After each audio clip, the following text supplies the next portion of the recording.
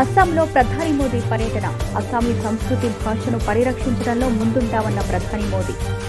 నూతన వ్యవసాయ చట్టాలు రద్దు కోరుతూ భోపాల్లో కాంగ్రెస్ ఆధ్వర్యంలో చేపట్టిన ర్యాలీపై నీటి తిరంగులతో పోలీసుల లాఠీచార్జ్ తమిళ సంస్కృతి భాషపై ప్రధాని మోదీకి గౌరవం లేదన్న కాంగ్రెస్ అధినేత రాహుల్ గాంధీ. ఏపీలో పంచాయతీ ఎన్నికల నోటిఫికేషన్ విడుదల చేసిన ఈసీ నిమ్మగడ్డ రమేష్ కుమార్.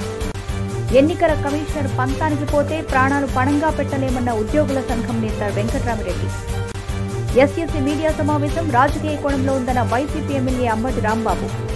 YCP నేతల వేధింపులతోనే తమ కార్యకర్త ఆత్మహత్య చేస్తున్నాడన్న జనసేన నేత పవన్ కళ్యాణ్.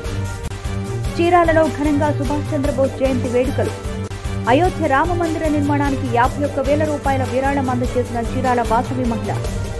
రేషన్ పంపిణీ వాహన లబ్ధిదారులు వాలంటీర్లకు చీరాలలో అవగాహన.